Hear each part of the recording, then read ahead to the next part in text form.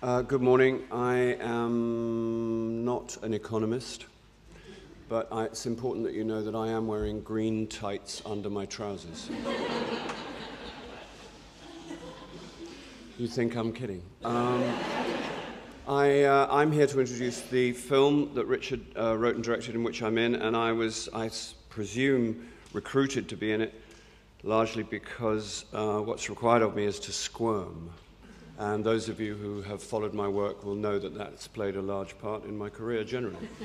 Um, it's my kind of forte.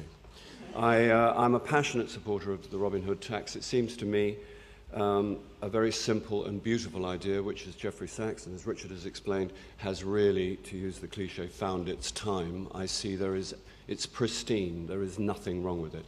I'm also accustomed to the phenomenon, phenomenon of people uh, uh, telling me and us that it's unworkable, impossible, and you know, as they have done in the past, as Richard's explained, and then things do change and people's lives are saved and revolutionized by what seems to be a sort of simple idea, too simple to be true, but in fact it's that good.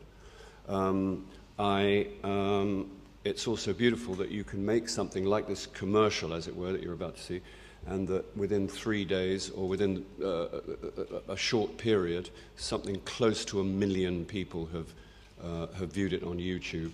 Um, and therefore, it's obviously a very successful tool in that way. So um, here it is. Thank you.